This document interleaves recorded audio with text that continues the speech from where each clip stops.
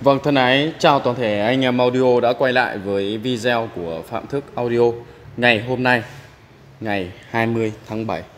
Hôm nay Phạm Thức Audio xin được giới thiệu đến quý vị và các bạn là bên em có về được mấy chiếc lọc Victor, tiếp tục mấy chiếc lọc Victor tiếp theo.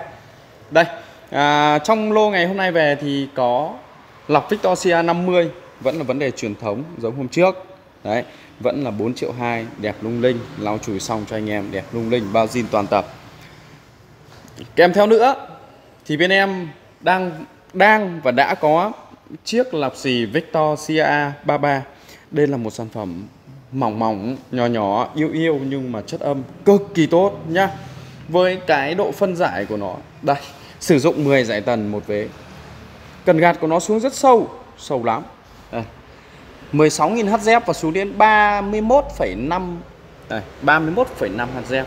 Con này trên thị trường rất nhiều anh em đang đánh giá nó là một trong số những chiếc lọc xì đạt hiệu quả âm thanh rất ổn. Với chất lượng IC linh kiện ở trong máy.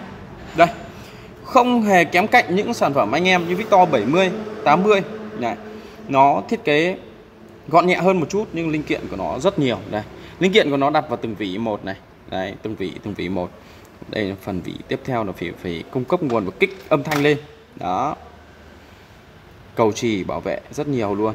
Cầu trì nguồn, cầu trì từng kênh một. Đấy, đây là phần nguồn của nó. Đấy, các bác nhìn thấy chưa? Đẹp chưa? Đấy. Đẹp chấm hết luôn. Không chê được điểm gì cả. Chiếc lọc này, bên em xin báo giá với anh em là 3 triệu 3 một sản phẩm thôi. Trên thị trường em thấy con này bán toàn trên 4 triệu. Đấy, Vì bên Phạm Thức Auto luôn luôn bán cho anh em rẻ 1 phần 3 so với giá thị trường.